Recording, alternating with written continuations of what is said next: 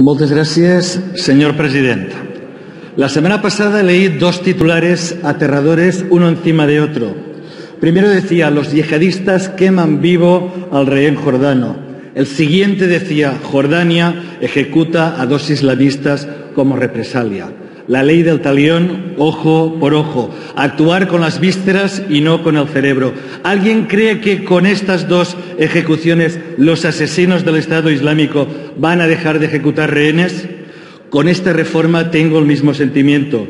Se ha actuado para contentar los instintos más primarios, el miedo, en lugar de legislar con la inteligencia, con la razón.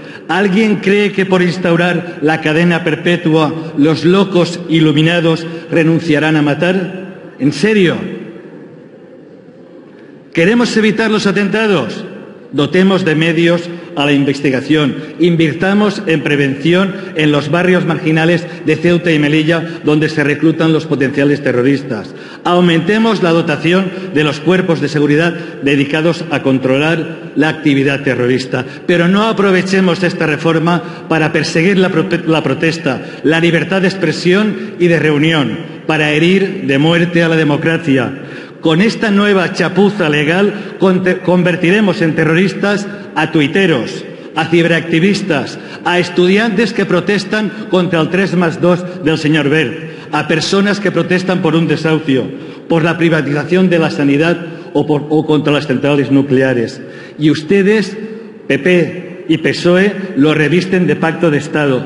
Lo del PP lo entiendo, pero lo del PSOE es pura esquizofrenia aprobar algo que vas a derogar cuando puedas, hacerse la foto con alguien que está dinamitando el bienestar de las personas desde el mismo día que empezó a gobernar en esta Cámara.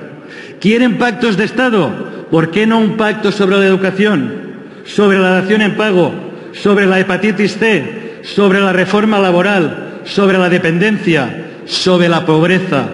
Eso sí es fino instinto de Estado. Eso sí que sería tender la mano de verdad, no esto. Acabo. Cuando el rey absolutista Fernando VII volvió de Francia, sus partidarios lo recibieron al grito de vivan las cadenas. Lo recordaba hace unos días el jurista Martín Pallín. Y eso hizo. Le puso una cadena a la Constitución de 1812. Ustedes hoy con esto le ponen una cadena a la Constitución, amordazan la democracia, reinstauran la cadena perpetua. No lo conseguirán. Muchas gracias.